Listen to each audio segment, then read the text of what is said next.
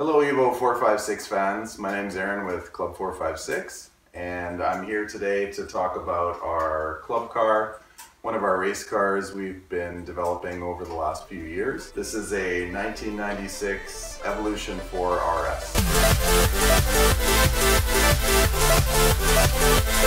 So here we have the front of the car. There's quite a few modifications from the standard Evolution 4 RS. So up front here we have the fog light blanks with the bride livery. This bumper here was a bumper that I had found actually on eBay. It's a fiberglass bumper that uh, has really an unknown origin. When I spoke to the seller on eBay, it was off of a car that was being uh, dismantled in the UK for parts, and it was a fresh import from Japan. When I got the bumper a few years back, uh, it didn't have any inner structure, so I had to fabricate an inner structure for the bumper support to attach to. It's basically just a fiberglass shell. The front of it is about two inches lower than a standard Evo 4 bumper. On top of that as well, I added a full splitter with integrated canards and the splitter extends all the way back to the firewall on the uh, underside.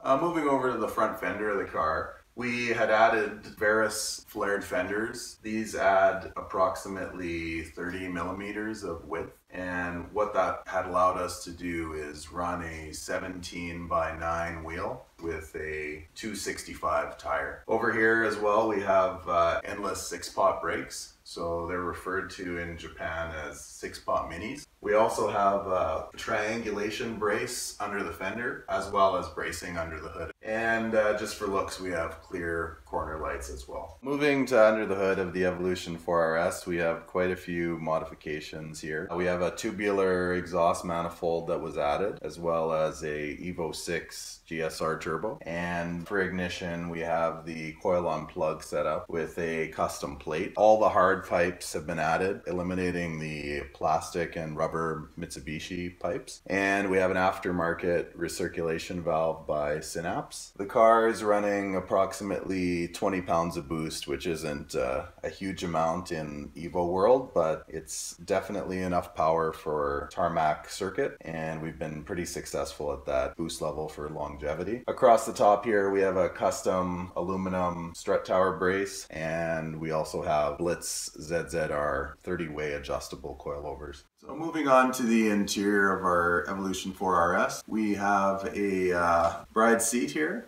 We have Takata harnesses, uh, personal suede steering wheel, as well a C's shifter, which is pretty rare for this model. It uh, raises the pivot point of the shifter up about an inch and that allows you to extend the neck of the shifter without uh, lengthening the throw. Uh, as well we have a six point roll bar that's welded into the car and a air fuel gauge and a boost gauge mounted on a custom pod over here. Basically the car from the factory came with a lot of nice features there was no airbags, crank windows, no air conditioning, and that's all RS features, which really helps with transitioning this car into a race car.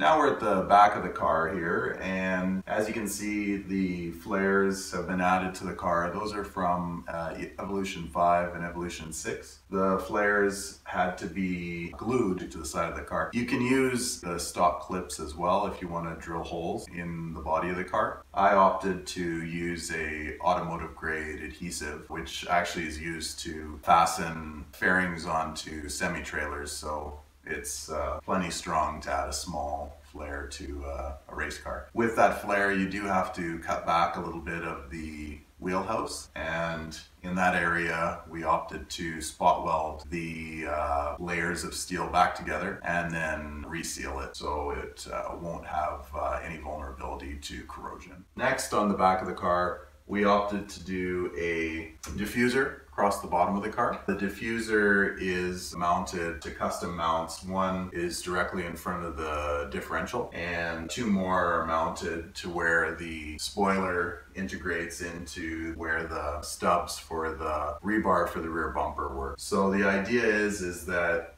any sort of downforce created by this aero is going to be exerted onto the frame of the car. We had some problems in past seasons with the trunk specifically deforming and that was running a fairly large GT wing as well. So we moved to this style of uh, mount just to save some body panels and to allow all of the force to go into the frame of the car rather than distorting body, body panels through flex. The spoiler that we're using on the car is uh, carbon fiber blade. It's very large. And here we have the stands for the spoiler. They're approximately half inch aluminum. There's no steel back here, including the diffuser of the car. The diffuser is made out of quarter inch aluminum as well. This looks like it might weigh quite a bit, but in actuality it's fairly light. The only steel portion is going to be where it's bolted here. It's bolted to steel plate and it has a uh, square steel tubing that goes into where the relief for the frame would be. And then it's bolted from the inside. So here we are under the car. Just wanted to show you the rear diffuser here. It basically attaches to where one of the exhaust hangers was at the back of the differential. There was a custom bracket made to hang this. It's uh, quite robust. I could probably hang off of it. I'm not going to, of course, because the car's on a lift and that's not safe but it's not going anywhere. All the splines are made out of quarter inch aluminum as well and they're welded to the main plate. Here we have the RS diff and uh, we just cleaned it up, painted the case, painted the cover and made sure that the plated LSD was in good health, which it was. We have a oversized Cusco rear stabilizer bar or sway bar uh, with the Whiteline end links that are also adjustable for the track and as well the rear blitz coilovers. The exhaust on the car is built for the racetrack. It's not an extensively long system. It's uh, HKS elbow coming off the turbo into a 3 inch custom downpipe and then into a 3 inch double resonated exhaust system with just a dump.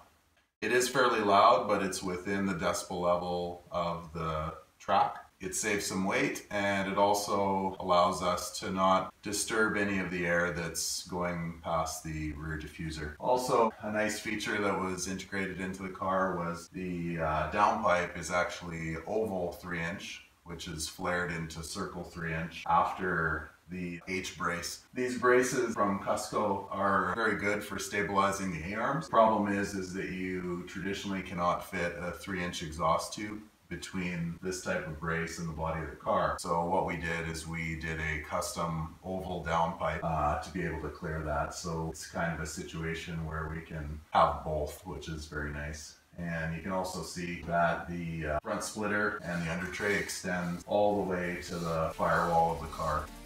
So if you like this video, don't forget to hit the like button. If you want to see more JDM Evo related videos, subscribe to our channel. For the most up-to-date news about Club 456, visit our Instagram or Facebook. Links in the description below. Also, check out our website at club456.ca for more JDM content and technical articles. See you soon!